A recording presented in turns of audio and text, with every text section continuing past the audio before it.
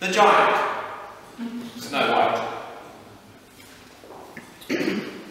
yes, there were seven. Seven people. Oh, and the giant, Snow White. Most people don't have a name for themselves. They have names for everyone else. To us, we're just the people. And no, I really don't want to hear your name. Anyway, this story you already know. That's not what happened. It isn't exactly complimentary. Fights break out when it's told in our company. And we might not be giants, but we're lethal in the matter. Though we may not be able to cut your throats, there are plenty of vital parts we damn well can reach. Look, I'm just saying, keep an open mind. That other tale, it's going to colour your imagination. Stories do that. Good ones, as well as bad. So sit back and listen. But keep your goddamn interruptions to yourself. Or be up a step ladder so fast you'll never know what got your tongue. Some tales begin with an origin. Three drops of blood on the snow, blah, blah, blah. The boring truth is that seven is the usual number for miners. Three at the rock face, three to shift rubble, and one to keep an eye on the canary. Happens I was the canary rancher. You're trying to guess my name now, aren't you? Even though they bloody well didn't have names in the Brothers Grimm version all your stories are descended from, you still want to square my tale with the stupid names Disney used for comic effect. Damn it, fine. My name is Blossom. Settle down. Settle right down. It's a lot more manly in our language, believe you me. Anyone who wants to discuss the matter further, I'll be waiting outside afters. So, we seven miners are minding our own business, our business being the extraction of high-grade iron ore, when the giant a breaking and entering on our mountain cabin. You could tell she wasn't the smartest cookie. You don't break into a miner's cabin, especially one where you have to bend double to get through the door and expect a warm welcome. We let her stay because it was obvious she was desperate. And because all that caterwailing was seriously messing with the wind down after a hard day's mining. We had to promise her something just to shut her up.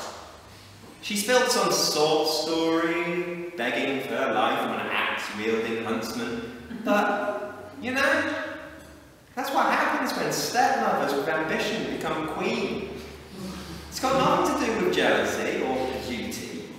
And despite what you may have heard, Snow White was no looker. Fairest of all. Fact, she didn't even have a beard.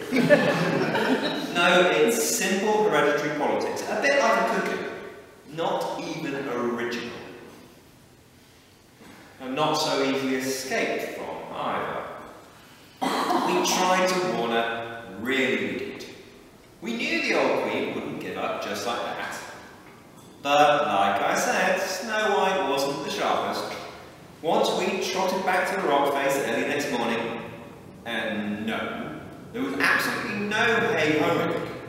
Not an avalanche zone. Does Snow White do but let in the first thinly disguised peddler who just happens to wander by?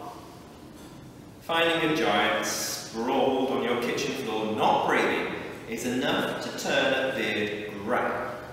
But we managed to get Snow White out of that particular sorry mess with a quick bit of bodice ripping and some mouth-to-mouth. I'm not at liberty to say which of the seven.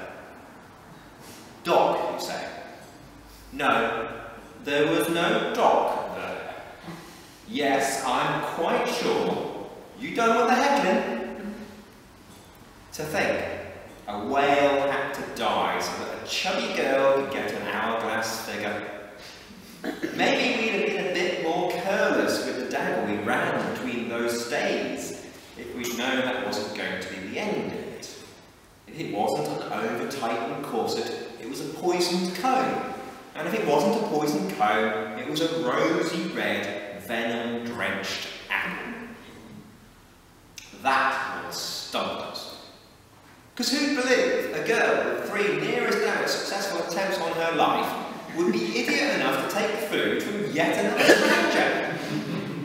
None of us thought to look down the damn fool girl's damn fool gutter.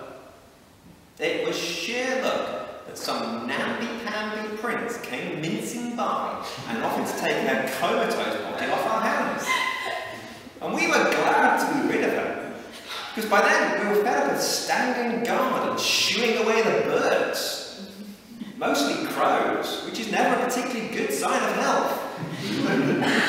it was costing us valuable time and the mountain mining season is damnably short.